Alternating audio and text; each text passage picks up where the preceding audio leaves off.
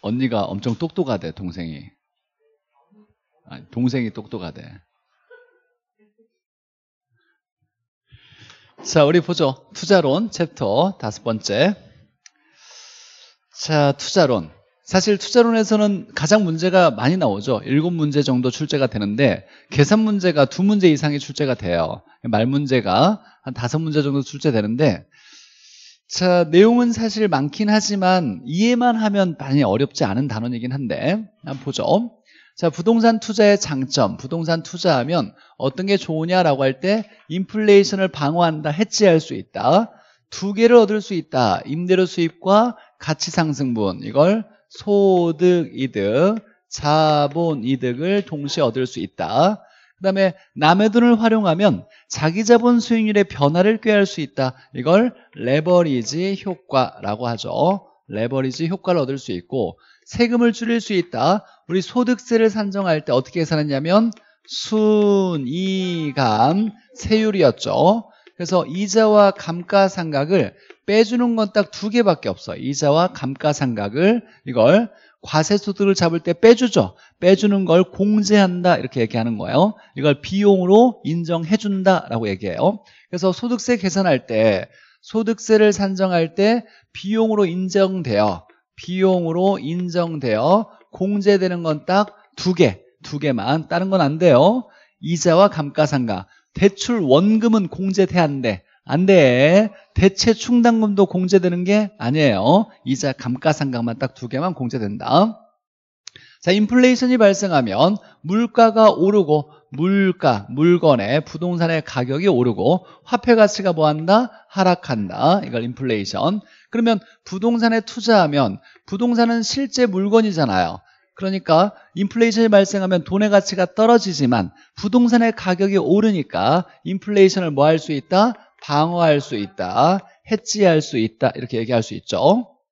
자, 레버리지 효과는 남의 돈을 활용하여 이 남의 돈을 이제 외워놔야죠. 우리 투자론에서 남의 돈을 이걸 레버리지라는 말도 쓰고 빌린 돈이죠. 대부액, 대출액, 융자액, 차입액 두 글자 부채 이렇게 얘기한다. 빌린 돈, 타인 자본. 남의 돈을 빌렸을 때, 투자했을 때 어떤 수익률의 변화를 초래할 수 있냐면 자기 자본 수익률, 지분 수익률이에요. 지분 수익률. 얘가 변화되는 효과예요. 얘가 변화되니까 이제 여기서 자기 자본 수익률을 계산할 수 있어야 돼라고 계산 문제가 나오죠. 자기 자본 수익률을 계산하는 건 지분 투자액분의 지분 수익인데 지분 수익은 총 수익에서 내 돈만의 수익을 계산하려면 내가 번 총 수익에서 남의 돈의 수익을 빼줘야죠. 남의 돈의 주인이 누구야? 은행이지. 은행이 가져가는 수익이 뭐야? 이자지. 그래서 이자를 빼줘야 된다라는 거죠. 그럼 부동산 투자할 때는 소득이득과 자본이득, 임대료 수입을 우리가 대표로 순, 자본이득을 가치 상승분 이렇게 했던 거죠. 그래서 지분 투자액분의 순소득 더하기 가치 상승분 빼기 이자 이렇게 해서 계산 문제도 풀었다라는 거였고 그러니까 레버리지 효과는 자기 자본 수익률을 변화시키니까 얘도 계산해봐서 한번 확인해봐라 라고 계산 문제가 나온 거고 자 부채 비율이 커질수록 돈을 많이 빌릴수록 레버리지 효과는 커지겠죠 돈 안 빌리면 효과가 없고 돈 빌리면 효과가 커질 거고 근데 돈 빌리면 위험 또한 커진다 이게 출제자가 항상 묻는 거예요 돈 빌리면 위험은 무조건 커진다 돈 빌리면 위험 커진다 돈 빌릴 때 발생하는 위험을 금융 위험이라고 해요. 돈 빌리는 걸 우리가 금융이라고 하니까. 자, 네 번째 보니까.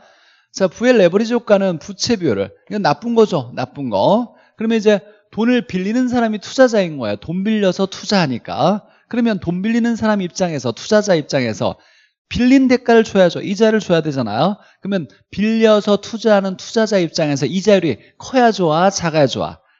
이자율이 작아야 좋은 거죠. 이자를 우리가 다른 말로 저당 수익률, 금리라고 하죠. 그러니까 이자율이 낮을수록 좋은 거, 정의 레버리지. 이자율이 크면 부의 레버리지가 나타나는 거예요. 자, 부의 레버리지는 돈을 많이 빌릴수록 자기 자본 수익이 커져요, 작아져요? 작아지는 걸 얘기하지. 정이면 커지는 거 얘기하고. 그러면 나쁜 거니까 우리가 비교할 때 뭘 비교하든지 간에 얘가 중요한 거 얘가. 저당 수익률이 나쁜 거래. 이자율이 컸던 거야 작았던 거야 컸던 거예요. 얘가 커서 나쁜 거다라는 거예요. 그럼 얘가 얘보다 어떻다? 어떻다? 작다 이렇게 나와야 되겠네요. 이 저당 수익률을 이자율이라고 하는 거예요. 이자율을 저당 수익률. 정해 내버리지면 저당 수익률이 어때야 돼? 작아야 되겠네요. 무조건 기준은 저당 수익률이에요. 이자율이. 자, 그럼 5번 보죠. 자, 총 투자 수익률과 저당 수익률 똑같대. 똑같대. 그럼 똑같으면 영향을 줄까 안 줄까? 안 주겠지. 영향 안 주는 걸 아까 뭐라 그랬어? 중립적이다 이런 얘기 했잖아요. 중립적이다. 그러면 얘와 얘가 같으면 돈을 빌리든 안 빌리든 자기 자본 수익률의 변화가 없겠네. 이걸 뭐라고 하냐면 중립적 레버리지라고 해요. 중립적 레버리지. 자, 부채 비율이 변화해도 얘가 영향이 없다라는 거. 영향을 미치지 못한다. 영향이 없다. 중립적이다. 이런 표현을 쓰는 거예요. 중립적. 자, 정의 레버리지. 자, 좋은 거래요. 그러면 뭐가 나왔어? 이렇게 종합 수익률 총투자수. 얘가 중요한 게 아니라 얘가 중요한 거잖아, 얘가. 그럼 좋은 거니까 얘가 큰 거야, 작은 거야? 작아야지. 작아야죠. 그러면 여기에서 이걸 빼면 100에서 50을 빼면 0보다 커 작아. 크겠네. 맞아요. 0보다 어떻다? 크다라고 해요. 여기서 이걸 뺀 값이 0보다 크다. 이렇게도 나왔어요. 감정평가사 문제에서는. 정이면 좋은 거죠. 저당 수준이 작아야지. 얘가 작으니까 여기서 이걸 빼면 큰 거에 작은 걸 빼면 0보다 큰 값 나오겠지. 당연히. 자, 부채 비율의 증감을 통해서 정의 레버리지가 부의 레버리지로 전환할 수 있느냐 이렇게 물어봤어요. 돈을 많이 빌리면 좋은 거, 조금 빌리면 나쁜 거 이런 거 아니다. 부채 비율 변화는 얘가 부채 비율의 증감은 레버리지를 전환할 수가 없다요. 만약에 부의 레버리지가 나타나면 돈을 많이 빌리면 손해가 크고 조금 빌리면 손해가 작은 거지 이익으로 바뀌어지는 게 아니라는 거예요. 그러니까 돈을 많이 빌렸냐 조금 빌렸냐는 건 전환할 수가 없다. 전환되는 건 무조건 뭐가 변해야 된다? 이자율이 변해야 된다. 저당 수익률이 변해야 된다라는 거죠. 자, 그래서 부의 레버리지가 정의 레버리지로 전환되는 경우라면 전환이 됐대. 이자율이 변했다는 거예요. 얘가 나쁜 게 좋은 거로 바뀌었잖아. 이자율이 커졌다는 거야, 작았다는 거야. 작아졌다는 거예요. 그래서 뭐가 뭐 할 때 저당 수익률이 하락할 때 낮아지면 이렇게 바뀔 수 있다라는 거죠. 레버리지를 전환할 수 있는 건 돈을 많이 빌렸냐 조금 빌렸냐는 건 불가능하고 이자율이 변해야 된다. 이자율 변동이. 근데 좋은 건 이자율이 작은 게 좋은 거다라는 거죠. 돈 빌려서 투자하는 사람이니까. 자 보죠. 토지가 영속성 없어지지 않는데요. 없어지지 않으니까 가치 보존력이 우수하겠지라고 하고 자 임대 사업을 했대. 임대 사업을 했대. 임대 사업 할 때 감가상각과 이자가 세금 산정 시 비용을 인정돼요. 소득세 계산할 때 소득세 순위감세율이니까 이자 감가상각이 비용을 인정된다. 절세 효과 얘기하는 거죠. 저당권과 전세제도 저당권을 넘기고 돈 빌리고 전세금 안고 투자할 수 있죠. 전세금도 남의 돈이네. 그래서 이런 걸 레버리지 남의 돈이라고 할 수 있고 인플레이션을 방어할 수도 있겠죠. 자, 그 다음에 단기간에 현금화할 수 있는 가능성이 커요, 작아요? 작다. 유동성이 작다. 부동산은 현금화가 어렵다. 그러면 유동성이 작아서 현금화하는 과정에 손해를 볼 수 있겠네. 이걸 유동성에 따른 위험이라 그러죠. 그럼 유동성이 작아서 유동성에 따른 위험이 크다. 이렇게 얘기하겠네요. 부동산은.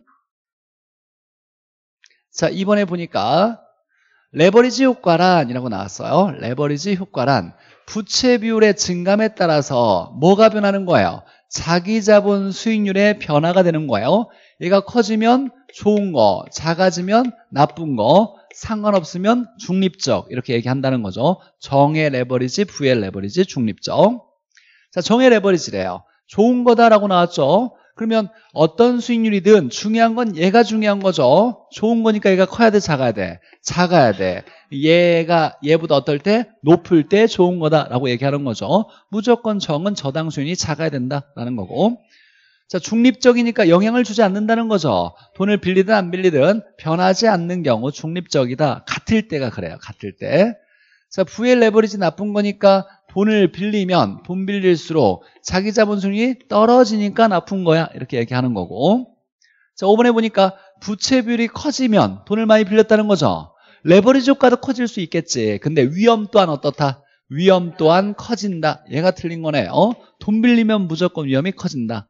그러니까 우리가 중요한 키워드만 보면 사실 많은 문제들이 많이 어렵게 느껴지지 않을 건데 이제 문제 푸는 연습 계속하면 될 거예요. 키워드를 좀 찾아야 돼. 나머지 쓸데없는 게 중요한 게 아니라 자 3번 보죠. 보니까 자 레버리지를 활용하면 이게 뭔지는 알아야죠. 남의 돈이죠. 남의 돈. 남의 돈을 활용하면 돈 빌리면 위험이 뭐한다? 커진다. 틀린 거죠. 돈 빌리면 무조건 위험 커진다. 무슨 위험? 금융적 위험. 투자에 따른 금융 위험. 금융 위험이 커진다라고 할 수 있을 거고 자 부의 레버리지 효과는 부채 비율을 낮춰서 돈을 조금 빌리면 이 말 뜻을 알아야죠. 돈을 조금 빌리면 정의 레버리지로 전환할 수 있다 없다? 전환할 수 없다. 무조건 뭐가 변해야? 이자율이 변해야만 전환되는 거다. 그럼 생각해보죠. 부가 정으로 바뀌려면 이자율이 변해야 돼. 이자율이 어떻게 돼야 돼요? 낮아지면 변할 수 있다. 이렇게 나와야지. 자, 릴에 보니까 총자본 어떤 수익률과 저당 수익률이 똑같대. 그럼 영향을 주지 않는다. 중립적 레버리지. 이렇게 얘기하겠네요. 부채 비율 변화는 영향을 미치지 못한다. 맞죠? 9번 보죠. 위험과 수익. 이건 좀 다분히 외우는 내용이 많으니까 우리 암기 코드로 잘 암기해야 되고 자 부동산 투자에서 우리가 투자는 언제나 수익을 기대하는데 이 수익은 지금 나오는 게 아니라 미래 나온다 그랬어요 미래 그러니까 장래 수익에 그럼 장래래 그럼 미래 벌 거라고 예상했지만 벌지 안 벌지는 모르지 미래니까 불확실성이 있어요 이 불확실성을 뭐라고 한다 투자의 위험이라 그래요 그래서 학문, 학자들은 이 불확실성을 위험이란 말로 쓰는 거예요. 이 불확실성을 위험이라고 하며 이렇게 나왔어요. 불확실성이 위험이다. 왜냐? 수익을 기대하는데 수익은 미래 나온다. 미래는 100% 우리가 확신할 수가 없다. 예상했지만 그러지 않을 수 있는 가능성이 있는 거죠. 이 불확실성을 위험이라 한다. 위험과 수익은 무슨 관계? High risk, high return. 그러면 비례 관계. 이렇게 얘기하겠네요. 비례 관계. 투자에는 위험이 따르죠. 이때 투자에 따른 위험을 구분할 때 우리가 충청도에 무슨 법인이 있어서 금사유 법인 이렇게 금사유 법인 금융적 위험은 돈 빌리면 발생하는 위험 사업상 위험은 임대 사업에서 돈 벌려 임대로 벌려고 했는데 이 수익이 악화되는 거예요. 이 수익이 악화되는 위험을 사업상 위험 유동성 위험은 현금화가 어려워서 발생하는 위험 법률적 위험, 인플레이션 위험, 화폐 가치가 떨어지는 위험 이렇게. 내용 자체는 어렵지 않잖아요. 사업상 위험이 중요해요. 이 사업은 무슨 사업? 임대사업, 임대료 수입을 못 벌었다, 수입이 악화됐다 이렇게 얘기하는 거예요. 근데 얘가 세 가지가 있어. 이 원인에 따라서 시장의 수요 공급의 문제 때문에 임대를 못 벌었냐 아니면 운영이 어려워서 못 벌었냐 주변의 환경이 달라져서 못 버는 거냐 이렇게. 시운위. 시장 나오면 뭐 수요 공급 이렇게 연결 줘야죠. 이건 간단히 이제 정리하면 돼요. 어렵게 나오지 않으니까. 그럼 보죠. 자 11번에 보니까 부채를 활용할 때 이게 중요한 거예요. 부채를 활용했대 돈을 빌렸대. 돈 빌리면 발생하는 거 뭐? 금융위험이에요. 금융위험 금융위험. 자 금융위험. 돈 빌리면 발생하는 거. 돈 빌려서 못 갚으면 파산하면 이렇게 되는데. 근데 중요한 거 보니까 얘는 완전히 제거할 수 있어 없어요? 있다라고 나와야 돼요. 남의 돈 안 빌리고 투자할 수도 있지. 그래서 완전히 제거할 수 있는 건 금융위험뿐이다 라는 거고 자, 두 번째 사업상 위험 이렇게 나왔네요. 무슨 사업? 임대사업. 임대를 못 본 거죠. 뭘 찾아? 뭐가 악화된다 이렇게 나와야 되잖아요. 뭐가? 수익성이. 수익성이 악화된다 나오면 얘는 사업상 위험이다 라고 얘기해야 돼. 수익성이 악화된다. 임대료 수익을 못 본다. 이때 이제 세 개가 있죠. 시, 운, 위 이렇게 세 개가 있더라. 자 이때 보니까 인구 감소 사람은 소비 생활을 하고 살아야 돼. 소비 생활 안 할 수가 없어요. 공급자는 공급자라고 딱 얘기해야 되는데 소비자는 사람이야 그냥. 그래서 인구 감소는 수요자가 준 거예요. 수요자가 줄었다. 공실이 늘었다. 수요가 없다.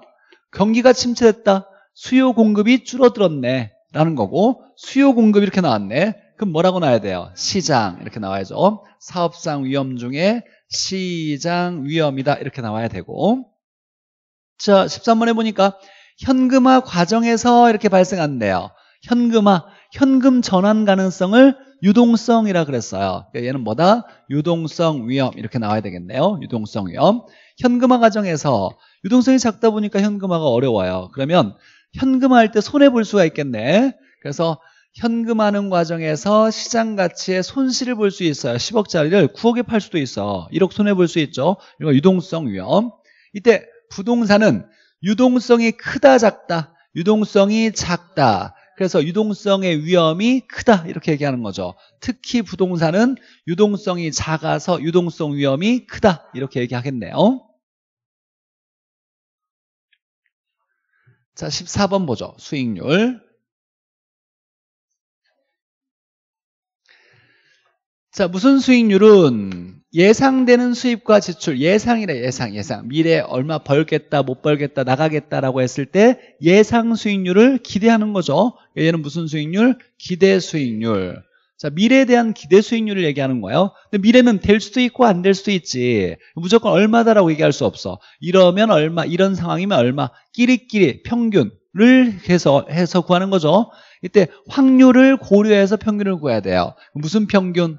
가중평균. 그래서 기대 수익률을 가중평균으로 계산했었죠. 그래서 평균이란 말은 평균 수익률은 기대 수익률을 얘기하는 거예요. 평균이란 말을 썼을 때 이 평균은 기대 수익률이다. 평균은 수익 얘기하는 거예요. 그리고 투자론에서 수익은 번 돈이 아니야 이제. 이해할 때 공부할 때. 투자론에서 수익은 벌 거라고 예상되는 수익이지 번 돈이 아니에요. 벌 거라고 예상되는 수익이다. 라는 거 자, 그리고 두 번째 보니까 무슨 수익률은 투자를 위해서 최소한 만족돼야 되는 이라는 거죠. 최소로 만족하는 거죠. 이걸 뭐라고 한다? 요구 수익률이라고 하죠. 가장 중요한 거죠. 요구 수익률. 근데 얘는 포기 대가의 의미를 가지고 있어요. 야, 은행에 넣었더니 예금 금리 3% 주네. 그럼 은행에 넣는 걸 포기하고 내가 부동산 투자하려 그래. 최소한 얼마는 받아? 3%는 받아야지라고 생각하는 거죠. 포기한 만큼을 최소한 얻으려고 하는 거예요. 그래서 그럼 포기한 대가를 우리가 학문에서 뭐라고 하냐?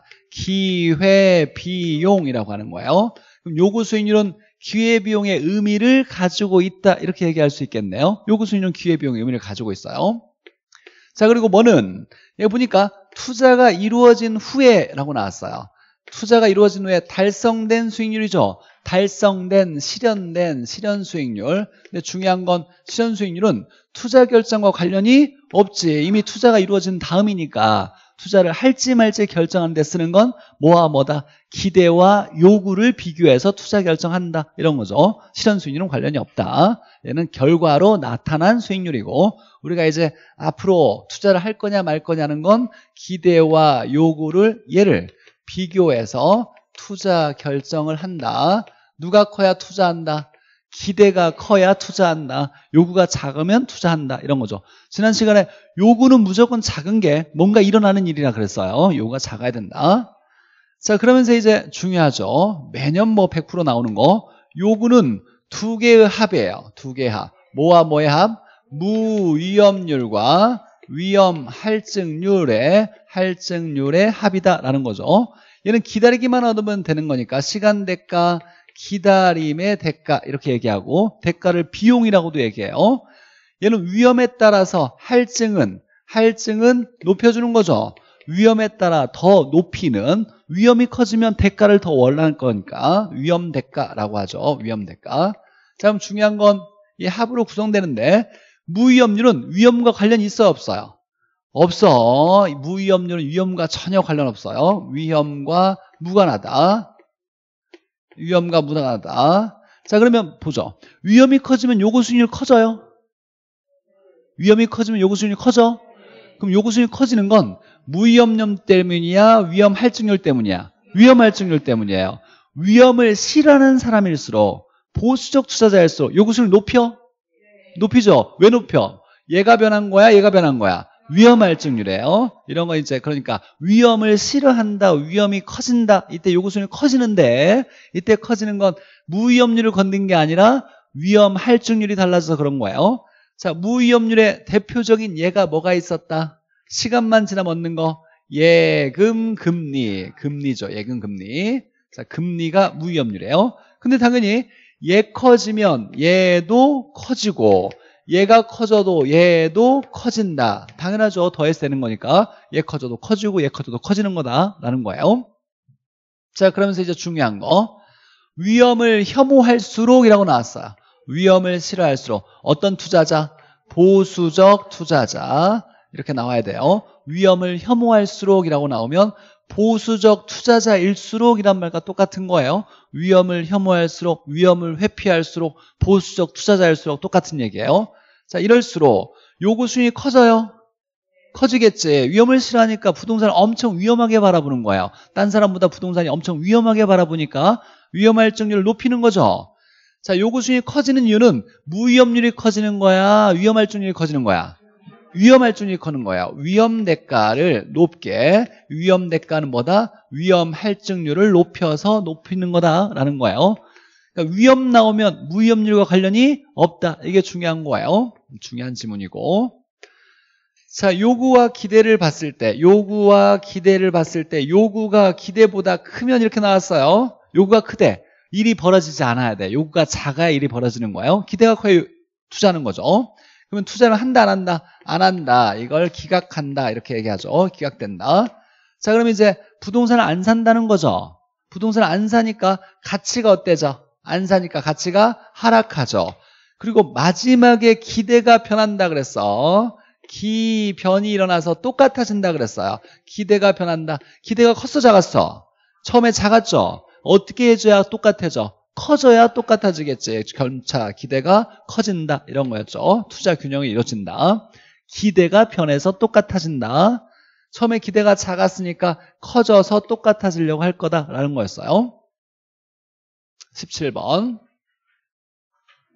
자, 금리래. 예금 금리. 요구 수익률 관련돼 있대. 요구 수익률은 무위험률과 위험할증률인데 이때 금리를 얘기하는 건 무위험률을 얘기한다. 그럼 금리가 올라간다. 무위험률이 커진다. 그럼 요구 수익률이 커지겠죠. 커지는 요인이다라는 거예요. 자, 금리는 무위험률. 무위험률 커져도 커지고 위험할증률 커져도 커지는 거다. 자, 이게 수익환원법에서 환원율 얘기할 때 이제 중요하게 다뤄질 거예요. 금리 올라가도 요구 수익률 커지죠. 그렇죠. 위험이 커져도 요구 수익률 커지죠. 금리 올라갈 때 요구 수익률 커지는 건 무위험률 때문이고 위험 커질 때 요구 수익률 커지는 건 위험 할증률 때문이다라는 거예요. 이때 우리가 요구 수익률을 순수내 현가 할인법에서 수년가 수익성지수법에서는 요구 수익률을 로 뭐했다? 할인했다. 할인율이에요. 감정평가 최근에 배웠으니까 수익환원법. 장래 수익을 환원해서 부동산의 가치를 평가하는 거예요. 이때 장래 수익을 장래 순수익이나 미래 현금 흐름을 뭐하여 환원하거나 할인하여 가액을 구하는 거죠. 환원하거나 할인하여 라고 했어요. 할인율이 뭐랑 똑같다? 환원율과 똑같다. 이렇게 되는 거예요. 환원율과 똑같다. 그러면 요구 수익이 커지면 할인율도 높아지는 거고 환원율도 높아지는 거야. 똑같은 얘기예요. 같은 거다. 그러면 금리 커져도 이렇게 되겠네. 맞아요. 근데 또 이렇게도 돼. 위험이 커져도 얘가 커지겠네. 이때 중요한 건 얘 금리가 커지는 건 무위험률 커지는 거고 위험 커지는 건 위험할증률 커져서 얘 커지고 얘 커지면 얘들도 커지는 거야 이렇게 해석한다는 거예요. 이렇게 연결돼 있어요. 자 18번 보죠. 자 위험을 회피할수록 이 말 나오면 무슨 투자자일수록 보수적 투자자일수록 보수적 투자자일수록 자 요구 수익을 더 어떻게 크게 결정한다. 이걸 보수적 투자자라 한다라고 얘기하는 거고. 자 위험을 혐오하는 투자자 무슨 투자자? 보수적 투자자일수록. 자 동일한 효용을 주는 수익과 위험의 조합. 이건 뭐냐면 동일한 효용. 이건 뭐냐면 무차별 곡선을 얘기하는 거예요. 무차별 곡선. 무차별 곡선. 어떤 거냐면 이런 거였어요. 여기에 수익, 여기에 위험 이렇게 됐을 때 이렇게 곡선이 됐을 때 여기나 여기나 만족이 똑같아. 효용이 똑같아. 그럼 효용의 차별이 있어요 없어요? 없어. 그래서 무차별이야.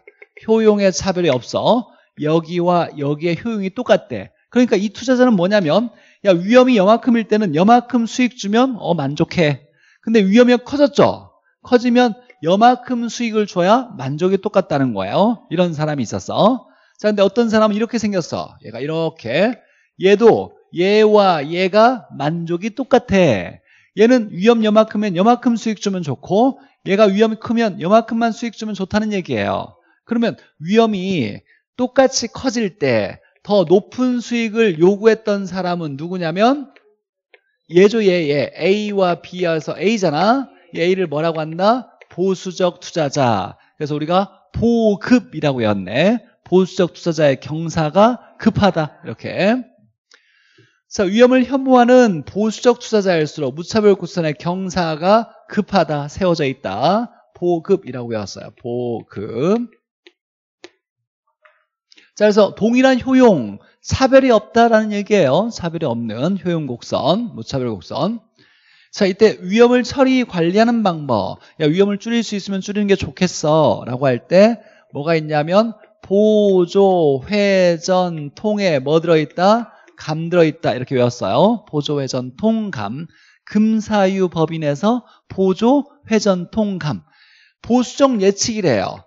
이 보수적 예측은 미래 잘 안 될 거야. 수익 많이 못 벌 수도 있으니까 조심스럽게 투자 결정해. 무조건 돈 많이 벌 거야 라고 생각하면서 막 투자하지 말고 그러면 얘는 기대 수익률을 높이는 거야 낮추는 거야? 미래에 대한 수익을 기대는 잘 미래 돈 잘 못 벌 거야. 조심히 투자해야 돼. 이렇게 생각하는 거잖아요. 기대 수익률을 낮추는 거야. 야, 위험 조정 할인율법이에요. 위험에 따라서 할인율을 조정한다. 야, 위험한 건 함부로 투자하지 않아야 돼. 위험이 크면 요구 수익률을 뭐해서 요구 수익률을 높여서 함부로 투자하지만 안 돼. 얘가 뭐다? 할인율. 할인율을 뭐해서 높여서 함부로 투자하면 안 돼. 이런 거고. 회피는 위험한 거나 제외시킬 거야. 위험한 거 하나도 투자 안 할 거야. 피할 거야. 제외시킨다. 전가는 떠넘길 거다. 떠넘기는 거 우리가 은행이 차입자에게 돈 위험을 떠넘기는 거 무슨 대출? 변동금리 대출. 대출자가 유명 유리한 거 변동금리 대출로 대출자가 차입자 위험을 전가시키는 거 대표적인 예.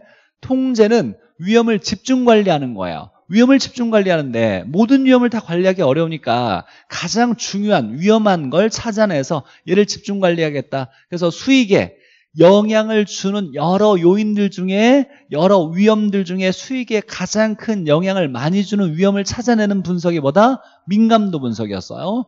투입 요소 변화에 따라 수익이라는 결과의 영향을 분석한다. 투입 요소를 변수에 따라, 투입 요인에 따라, 투입 요소에 따라 수익이라는 결과의 영향을 분석하는 거. 원인에 따라 결과 분석하는 거, 민감도 분석. 내용을 쭉 보죠, 그러면. 자, 보니까 보수적 예측이네요. 야, 미래 잘 안 될 거라고 예상하면서 조심스럽게 투자해야 돼. 미래 잘 안 될 거라. 예측을 미래를 보수적 이건 비관적으로 본다는 거야. 비관적으로 보고 야 조심스럽게 투자 결정해야 돼. 그러면 장래 수익은 높게 예측해 낮게 예측해? 낮게. 위험은 어떻게? 높게. 이렇게 예측해서 예측해서 예측해서 이 예측을 우리가 출자가 속이려고 할 때 여기에 추계한다 추정한다 이런 말 쓴다 그랬어요. 예측과 똑같은 말이야 미래에 대해서 잘 안 될 거야 라고 조심스럽게 예측하면서 투자 결정해야 돼. 이런 걸 보수적 예측. 위험 조정 할인율법 조자죠 조 위험 조조. 위험에 따라서 할인율을 조정한대. 그럼 위험이 커지면 할인율을 높여 낮춰요 높여서 이 할인율을 높인다는 건 요구 수익률을 높여서 함부로 투자하지 않겠다. 그러면 위험한 투자일수록 할인율을 뭐하고 높게 적용한다. 이 할인율이 뭐다? 요구 수익률이다 라는 거였어요. 요구 수익률을 높게 해서 함부로 투자하지 않겠다. 자 결론적으로 보수적 예측은 미래 잘 안 될 거야 라고 예측하면서 투자 조심스럽게 해야 돼. 그래서 기대 수익률을 하향 조정하는 거고 위험 조정 할인율법은 위험 크면 잘 투자하지 말아야 돼. 그럼 요구 수익을 높여야 돼. 그래서 위험에 따라서 할인율을 조정하는데 이 할인율은 요구 수익률을 얘기하고 얘를 상향시켜서 상향 조정해서 조심스럽게 투자 결정하자라는 얘기였고 자 위험의 회피는 회피는 제외시키는 거예요. 투자 위험한 것을 제외시키겠다 안 하겠다. 자 이때 투자자가 얻을 수 있는 건 위험한 건 모두 제외시켰어. 그럼 위험 대가는 얻지 못하잖아요. 위험하지 않는 수익률만 얻겠네. 이걸 뭐라 그래? 무위험률, 예금 금리. 그래서 뭐밖에 없다? 무위험률밖에 얻을 수 없다. 그럼 뭐 투자, 부동산 투자에 의의는 없는 거죠. 은행 넣는 거나 똑같은 결과니까. 자, 위험의 전가, 떠넘기는 거죠. 보험계약은 보험회사에 떠넘기는 거고, 임대료, 인상계약은 임차인에게 떠넘기는 거고, 자, 무슨 금리 대출? 변동금리 대출. 누가 누구에게? 대출자가 차입자에게 위험 떠넘기는 거죠. 자, 25번에 보니까 수익성에 영향을 주는 얘가 결과예요. 수익성의 결과. 얘가 결과인데 언제나 우리 부동산 투자에서 결과는 수익이에요. 여기에 영향을 주는 요인들의 변화에 따라 요인들의 변화, 투입 요소 변화, 투입 요소 또는 변수에 따라 얘들에 따라서 수익이 어떻게 달라지는지를 이렇게 분석하는 거. 그래서 이 수익에 가장 큰 영향을 주는 걸 찾아내는 거. 이걸 무슨 분석? 민감도 분석이라고 하는 거죠. 그래서 이걸 민감도 분석 또는 감흥도 분석이라고 하죠. 이때 가장 위험한 요인을 결정해서 집중 관리하는 거. 이걸 위험의 통제, 통제를 집중 관리를 했어요. 그래서 위험의 통제는 민감도 분석을 활용해서 가장 위험한 요인을 찾아내서 이 녀석을 집중 관리하겠다. 이게 통, 통이죠. 통, 통감. 통에 감 들어있다. 암기하죠. 보조, 회전, 통, 감 들어있다. 자, 보죠. 4번에.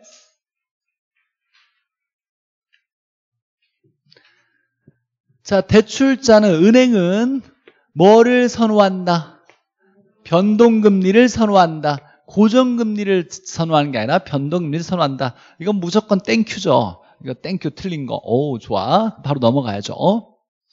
자, 부채 비율이 크면 돈을 많이 빌리면 지분 수익이 커질 수 있지만 레버리지 효과를 얻을 수 있지만 자, 돈 빌리면 무조건 위험 또한 어떤다? 커진다. 맞고 자, 운영 위험이래요. 근데 내용을 보니까 수익성의 위험, 수익성의 불확실성이래요. 그럼 이 수익성의 위험은 뭐라 나와야 돼요? 사업 위험이라고 나와야죠. 사업 위험은 세 가지가 있네. 시, 운, 위. 이 중에 뭐냐라고 봤더니 사무실 관리가 어렵고 근로자가 파업해서 일할 사람이 없고 운영하는데 경비가 너무 많이 들어가서 돈을 못 버네. 운영이 어려운 거죠. 그래서 뭐라고? 운영 위험. 맞죠? 자, 현금화 과정에서 현금화할 때 손해 볼 수 있대. 이걸 뭐라고 한다? 유동성 위험. 현금화할 때 발생하는 거 유동성 위험. 나머지는 뭐 어렵지 않고.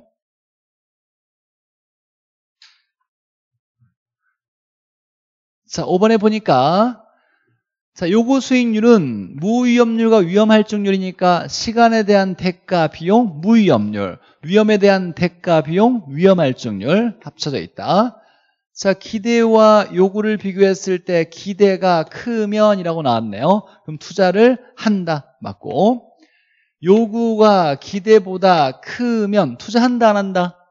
안 한다. 요구가 작아야 뭔가 일어나는 거죠. 투자 안 한다. 투자 안 한다. 그럼 투자 안 하면 그 이후에 물어볼 게 가치가 떨어질 건데 결국 기대가 변한다 그랬어. 기대가 지금 작잖아요. 그럼 기대가 어떻게 변해야 돼? 커진다라고 나와야죠. 기대가 커져서 똑같아지려고 한다. 기대가 변해서 똑같아지려고 한다. 자, 위험과 수익은 무슨 관계? High risk, high return, 비례 관계. 얘를 다른 말로 뭐라고도 하냐면 상쇄 관계라고도 한다. 반비례 아니에요, 상쇄는. 상쇄는 없앤다라는 개념이야. 무슨 얘기냐면 위험이 커지면 나쁜 게 커지는데 이 나쁜 게 커질 때 수익이 커지면 좋은 게 커지잖아. 나쁜 걸 없애주는 역할을 하네. 커질 때 커져야 나쁜 걸 없애주는 거예요. 맞아. 상세는 없애주는 거야. 없애주는. 커질 때 커져야 없애주니까 비례관계를 상세관계. 우리가 이제 비례관계를 정의 플러스 관계라고도 얘기해요. 커질 때 커진다. 이 플러스를 정이라고 읽으니까 정의 관계라고도 얘기하는 거예요. 6번 보죠. 자, 보수적 예측. 야, 미래 잘 안 될 거야. 이렇게 예측하면서 조심스럽게 투자 결정해야 돼. 그러면 수익의 추계가 뭐야? 추계. 추계. 아까 추계한다, 추정한다. 예측하는 거죠. 수익의 예측치를 어떻게 봐야 돼? 낮게 봐야죠. 그 기대 수익률을 낮춰야 돼. 그래서 기대 수익률을 낮춰서 미래 잘 안 될 거야. 조심스럽게 투자 결정해. 자, 위험 조정 할인율법. 위험에 따라서 할인율을 조정하는데 위험한 투자일수록 할인율을 높인다, 낮춘다? 높인다. 요구 수익률을 높인다, 할인율을 높인다. 이렇게 나와야죠. 자, 민감도 분석. 이때 민감도는 원인에 따라 결과에 영향을 분석하는 거죠. 결과는 언제나 수익이에요. 수익. 결과는 수익. 이 수익에 뭐가 원인이 이때 투입 요소가 변하냐 또는 변수가 변함에 따라 또는 요인에 따라 요인에 따라 이 결과가 어떻게 달라지느냐 이런 거 나오면 다 민감도, 감응도 이렇게 나와야죠. 투입 요소 변화에 따라 변수에 따라 투입 요소의 변화에 따라 이런 말에 따라 수익이라는 결과에 예측한다 결과에 영향을 분석한다 이런 말 나오면 민감도 이렇게 느낌만 잡으면 돼요. 우리 문제는 민감도냐 흡수율이냐 이 두 개 속이는 거예요 계속. 흡수율은 과거 소비율 조사하는 거였어요 왜 조사한다고? 미래 예측하려고 미래 자 3번 평균 분산 원리 보죠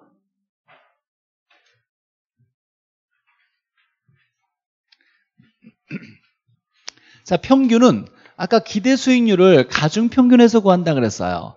그렇죠. 이 평균은 수익을 얘기하는 거예요. 수익. 얘가 엄청 중요하죠. 분산은 뭘 얘기한다? 위험을 얘기한다. 위험. 위험은 분산 얘기하는 거예요. 그래서 평균은 수익을 얘기하고 위험은 분산과 표준 편차라는 걸 쓰는데 이 분산 표준 편차는 기대 수익률의 분산, 기대 수익률의 표준 편차라고 하는 거예요. 얘가 중요한 게 아니라 기대 수익률 값의 분산, 표준 편차를 의미하는 건데 어쨌거나 위험은 분산과 표준 편차 얘를 값을 위험으로 표현한다라는 거예요. 위험이 큰 게 좋아, 작은 게 좋아? 작은 게 좋죠. 언제나 위험이 작은 게 좋으니까 우리 학교에서는 위험을 싫어하는 사람 투자자를 전제되고 있어요. 위험 회피형이 전제되고 있으니까 위험 싫어하는 사람이야. 위험 작은 게 좋아. 분산도 작은 게 좋아. 표준 편차도 작은 게 좋아. 무조건이에요. 잘 기억해 놓고. 변이계수도 위험과 비례해요. 얘의 비율을 가지고 이제 변이계수로 따지는 건데 수익과 위험의 비율이 이게 변이계수예요. 근데 얘가 위험과 비례야. 그러면 변이계수는 뭐를 뭐로 나눠야 되냐면 위에가 위험이 돼야 되겠네. 맞아요. 얘가 비례 관계니까. 그래서 위험을 뭘로 수익으로 나눈 값, 이 비율을 변이계수라고 하는 거예요.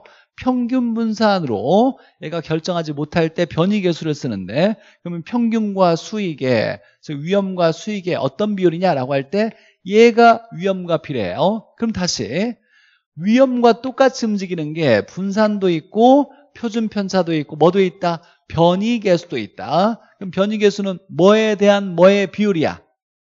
수익에 대한 수익에 대한 위험의 비율 이렇게 나와야죠. 얘를 뭘로 쓸 수 있다? 평균. 얘는 뭘로 쓸 수 있다? 분산, 표준 편차 이렇게 쓸 수 있다는 거예요. 자, 따라서 변이계수법에서는 변이계수가 큰 게 좋은 거야, 작은 게 좋은 거야? 작은 게 좋은 거예요. 그래서 변이계수가 작다 이렇게 나와야 돼요. 그러니까 위험이 작아야 되니까 분산, 표준 편차, 변이계수가 모두 작은 게 좋은 투자 아니야. 위험이 작은 투자 아니야. 이렇게 얘기하는 거고. 자, 원리 보죠. 평균 분산 원리에 의해서 이 원리는 간단해요. 위험 똑같으면 수익이 높은 게 좋다. 수익 똑같으면 위험이 작은 게 좋다. 이게 수익과 위험을 얘기하니까 그래서 위험은 작은 게 좋고 수익은 큰 게 좋다. 이게 평균 분산 원리예요. 이걸 통해서 여러 투자안 중에서 가장 좋은 투자안을 선택을 했어. 이걸 좋은 투자안을 효율적 투자안이라 그래요. 그래서 얘들을 연결하니까 선이 나왔어. 이걸 뭐라고 한다? 효율적 전선. 효율적 전선을 보니까 얘가 이렇게 생겨먹었네. 수익과 위험에서 오른쪽에 올라가죠. 오른쪽 올라갔잖아요. 그럼 얘와 얘는 무슨 관계? 비례관계. 커질 때 커진다. 그러니까 수익을 더 높게 얻으려면 위험을 더 크게 감수할 수밖에 없다. 비례관계 얘기하는 거다. 계속 우리가 얘기했어요. High risk, high return 이렇게 이 비례관계. 자, 그래서 이걸 효율적 frontier라고 하며 이 전선이 오른쪽에 올라가는 우상향하는 모습을 나타내는 것은 수익을 더 얻으려면 더 큰 위험을 감수할 수밖에 없다. 수익이 커지려면 위험이 커질 수밖에 없다. 비례관계다. 이렇게 얘기하는 거죠. 평균 분산 원리로 수익과 위험의 원리, 수익은 큰 게 좋고 위험은 작은 게 좋다라는 원리로 좋은 투자를 끄집어내서 얘를 연결했어요. 이걸 효율적 전선. 이 효율적 전선에다가 우리가 아까 배웠던 무차별 곡선이 있었죠. 급한 거, 완만한 거, 보수적, 공격적 이렇게 있었는데 이 무차별 곡선을 여기다가 딱 이렇게 접하게 되면 이 접점을 뭐라고 한다? 최적의 포트폴리오라는 말을 쓴다. 최적의 포트폴리오. 보수적은 앞에서 나오고 공격적은 이렇게 여기서 나온다. 그래서 최적의 포트폴리오가 투자자에 따라 달라. 얘는 위험을 엄청 싫어하니까 위험이 작은 걸 좋아한다. 그럼 수익도 작을 수밖에 없어. 공격적은 위험이 좀 커도 수익을 높은 걸 원한다. 이 얘기하는 거죠. 접점에서 최적의 포트폴리오 이렇게 만들어진다. 자, 포트폴리오란 여러 개의 자산에 뭐 투자하는 거예요? 분산 투자함으로써 위험, 위험을 뭐라고 한다? 불확실성, 얘를 제거하는 거죠. 근데 중요한 건 모든 위험을 제거하는 건 아니죠. 뭐만? 비체계적 위험만 제거한다. 이게 항상 답으로 10번 중에 8번 나왔던 거죠. 비체계적 위험만 제거한다. 근데 우리가 분산 투자할 때는 수익률이 똑같은 걸 분산해야 돼? 다른 걸 분산시켜야 돼요. 예를 들면 이런 거 배웠잖아. 내가 부채 공장이 위험해서 부채 공장에 몰빵했던 위험하대 분산 투자하려고 부채 공장에 몰빵하지 않고 부채 공장과 선풍기 공장 같이 나누면 효과가 없다는 거야. 하나 투자한 거나 똑같은 거 나눈 거나 별 효과가 없다는 거죠. 다르게 움직이는 걸 분산 투자해야 돼. 그래서 수익률이 다르게 움직이는 걸 분산 투자해야 된다. 똑같이 움직이는 건 나눈 효과가 없다는 거예요. 자, 그래서 부동산은 지역별, 유형별 같아 달라. 달라 이게 중요한 거예요. 이게 달라. 이때 우리가 지역마다 다르다. 지역마다 다르다가 이게 부동산 시장에서 엄청 중요하죠. 뭐와? 지역화, 국지화. 이걸 지역화, 국지화라고 하죠. 얘가 나타나는 건 부부 연계 중에 무슨 성? 부동성. 그러면서 우리가 암기 코드가 외부 지역 부인 경합 이렇게 였던 거예요. 외부 지역 부인 경합 이렇게. 자 그러면 부동산은 다르니까 다른 게 엄청 많네. 그럼 분산 투자하기에 유리해요, 불리해요? 유리하다. 부동산은 분산 투자하기에도 적당한 자산이다. 이렇게 얘기하는 거고.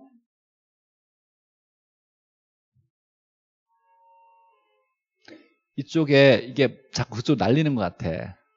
분필가루가. 네. 선풍기를 끌게요. 이따가. 자, 30분 보죠.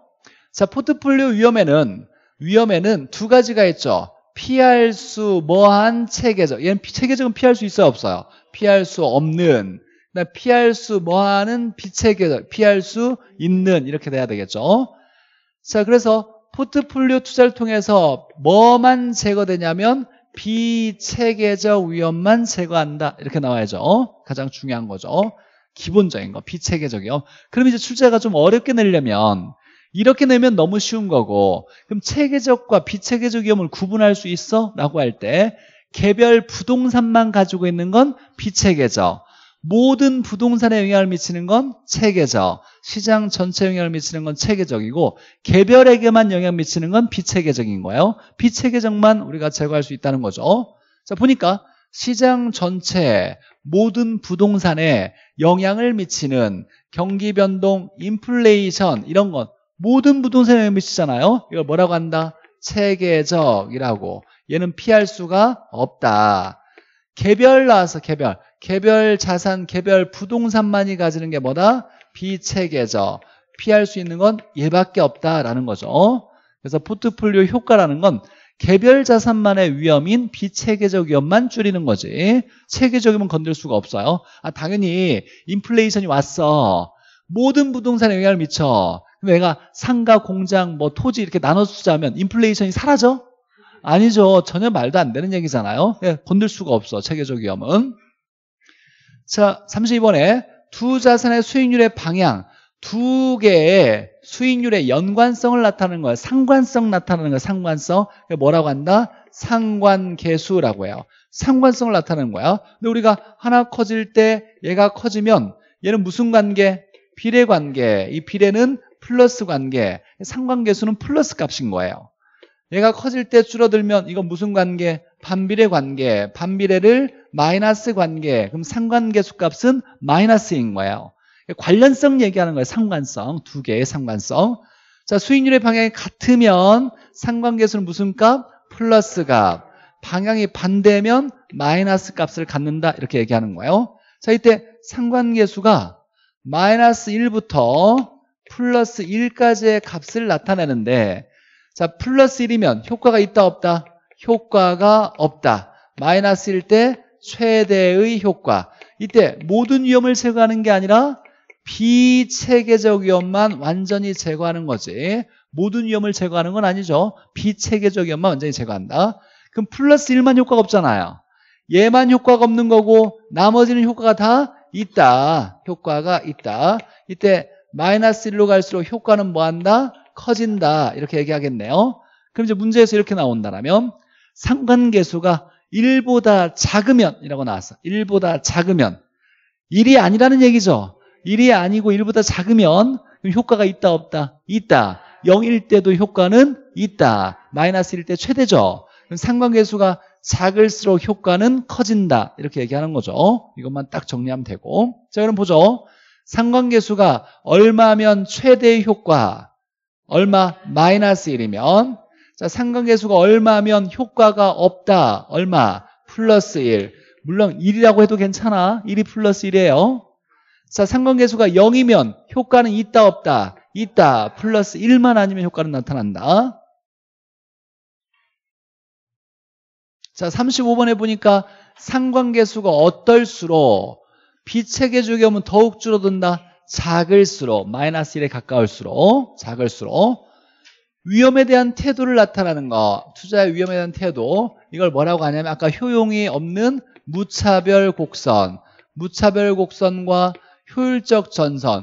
얘는 어떻게 나왔다? 평균 분산 원리를 통해서 효율적 투자를 끄집어내서 연결시켰다. 얘와 얘 어디에서? 접점에서 뭐가 만들어진다? 최적의 포트폴리오가 결정된다. 이런 내용이었죠. 문제 보죠.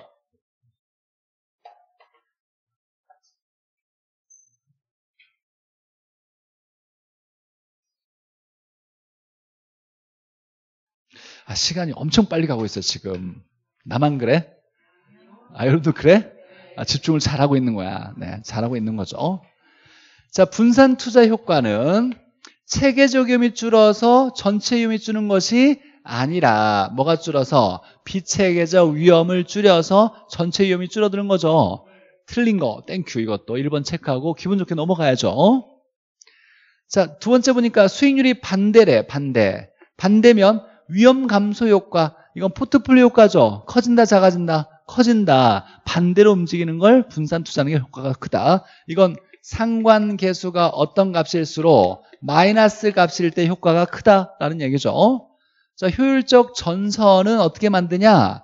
평균 분산 원리를 통해서 좋은 투자를 끄집어내야죠. 좋은 투자는 수익은 높은 거, 위험은 낮은 거. 그러니까 모든 위험 수준에서 수익이 어떤 거? 높은 거라고 나와야 돼. 중요한 건 얘예요. 얘. 그러니까 좋은 평균 분산 원리에서 수익은 높은 거예요. 그럼 만약에 반대로 이게 모든 수익 수준에서 모든 수익률에서 위험은 가장 어떤 거? 작은 거. 위험은 작은 거, 수익은 높은 걸 이걸 통해서 효율적 투자를 끄집어내서 연결한 거 선을 집합이라고 하는 거예요. 선을. 선은 점들이 다 만나서 이룬 게 선이에요. 이 점들 투자한들의 집합체가 선이다 이렇게 얘기하는 거예요. 자, 효율적 전선이 전선이 오른쪽에 올라가는 건 수익과 위험이 무슨 관계? 필의 관계. 그래서 수익을 높게 얻으려면 위험도 커질 수밖에 없다. 이렇게 얘기하는 거죠. 많은 위험을 감수한다라는 거고. 8번 보죠.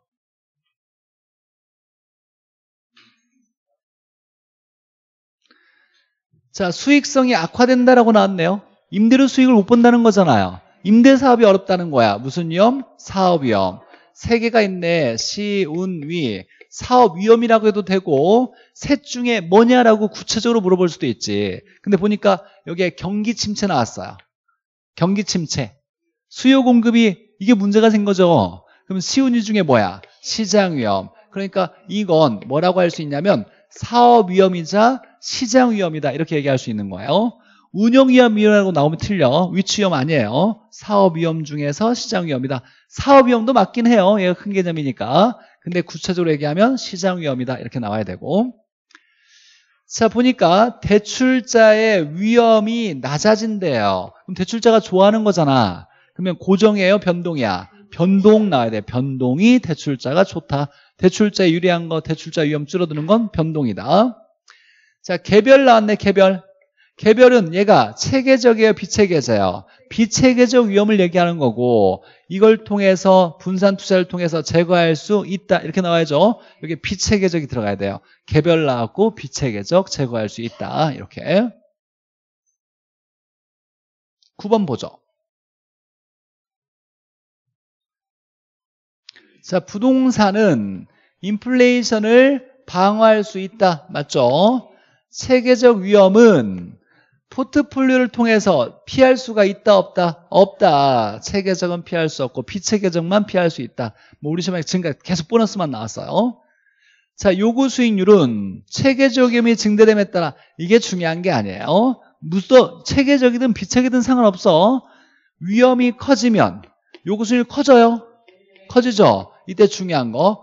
얘는 두 개의 합이잖아요. 요구 수익률은. 무위험률이 커지는 거야? 위험할증률이 커지는 거야? 위험할증률이 커지는 거야. 얘가 커지는 거야. 무위험률이 변하는 게 아니라 위험할증률이 커져서 얘가 커지는 거죠. 그래서 커진다. 위험 커지면 무조건 커진다. 꼭 비체계적 위험만 커지는 건 아니에요. 비체계적 위험이 커져도 되고 투자자가 위험을 더 싫어해도 커지는 거야. 그러니까 위험에 따른 얘기 나오면 무조건 위험 할증률 요구수율이 커진다. 예금 금리 나오면 요구수익이 커지지. 근데 예금 금리가 올라가서 요구수익이 커지는 건 이건 무위험률이 커져서 커지는 거다. 이렇게 해석해야 되고. 자, 효율적 프런티어는 동일한 위험, 위험이 똑같으니까 여기 수익이 어떤 거? 최고. 이게 나와야 돼. 수익이 높은 걸 좋은 투자만 끄집어내서 연결한 선이다. 이렇게 나와야죠. 10번. 자, 작년에 나왔던 문제인데, 뭐, 보너스죠, 보너스. 자, 상관계수가 0이면, 0이면, 위험 감소 효과가 최대다? 아니지, 얼마일 때? 마이너스 1일 때, 어, 틀린 거, thank you 하고 또 넘어가야 되겠네. 이런 거, 다른 거 보면 안 됐던 거예요, 사실 이 문제에서는. 상관계수가 마이너스 1일 때 최대, 이렇게 나와야죠. 자, 보니까, 기대 수익률은 미래에 대한 예상 수익률이죠. 그럼 미래는 될 수도 있고 안 될 수도 있으니까 무슨 평균? 가중 평균 이렇게 나와야 되고 무차별 곡선은 자 동일한 효용을 주는 동일한 만족을 주는 차별이 없는 뭐와 수익과 위험의 조합을 나타낸다. 이때 중요한 건 다음에 나오면 보수적 투자자의 경사가 뭐하다? 급하다. 이렇게 나와야 되고 뭐 답은 1번 thank you라고 나왔어야 되는 문제고 자 화폐 시장 가치를 봐야 되는데 어 시간이 너무 빨리 가. 아, 왜 이렇게 빨리 가지? 일단은 쉬었다가 자본하는 계속 보죠.